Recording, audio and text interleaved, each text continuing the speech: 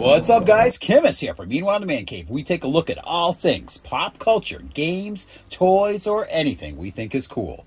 And today, we are taking a look at the Todd McFarlane DC Multiverse Anti Monitor figure.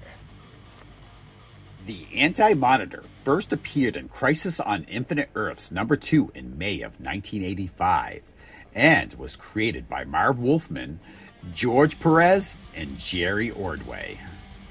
The creature called the Monitor was originally created by being known as the Overmonitor to learn more about the multiverse.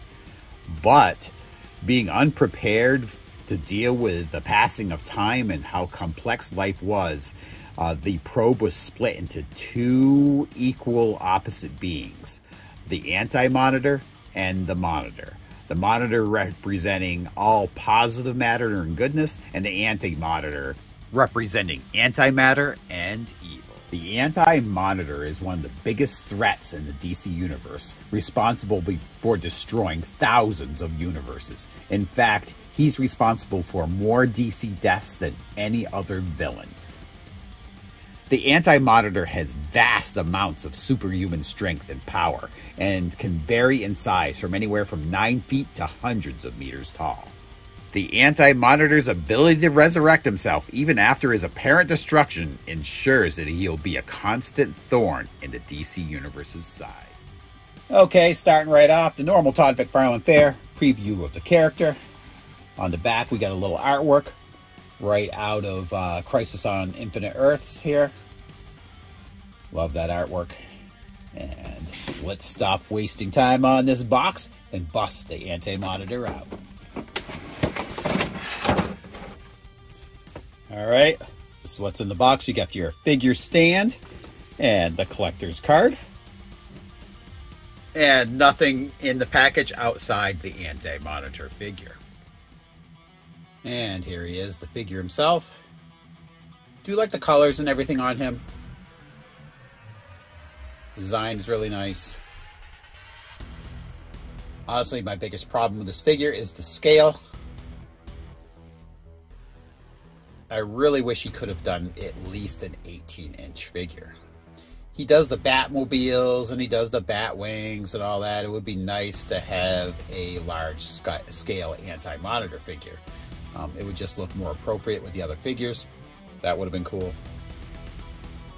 Could have even done it as a build a figure from uh, like Megafigs. You could have had several Megafigs with pieces of him and then built him into a you know, an 18 inch scale figure at the end.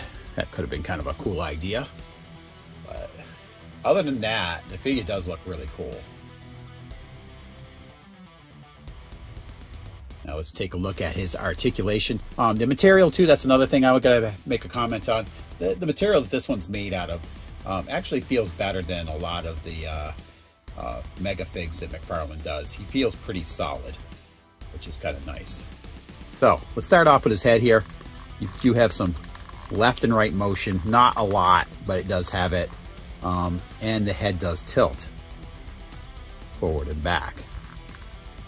At the shoulders, you got your lateral movement as well as forward and back. You got your double elbow joint and you do have the shoulder and bicep joint there, which is nice.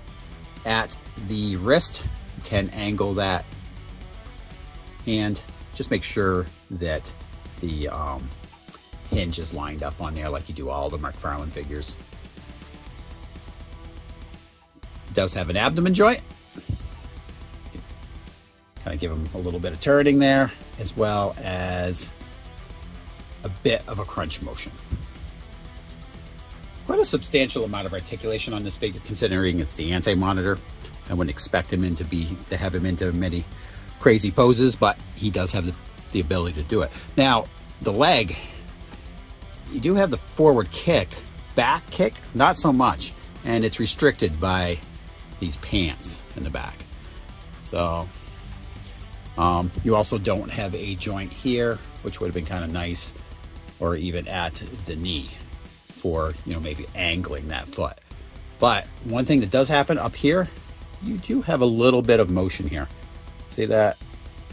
So that's kind of nice And you have the double knee joint. No, jo no joint at the boot line. Um, the foot does not angle left or right, but it does go forward and back. And unlike most, um, you know, most mega figs he does, you do have a toe joint. So all that articulation should be pretty much the same on the other side.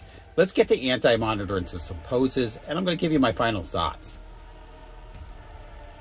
So I can't quite put my finger on what it is that I'm unsatisfied with this figure. I, I think really it's the scale. I think that's really my main issue with this figure.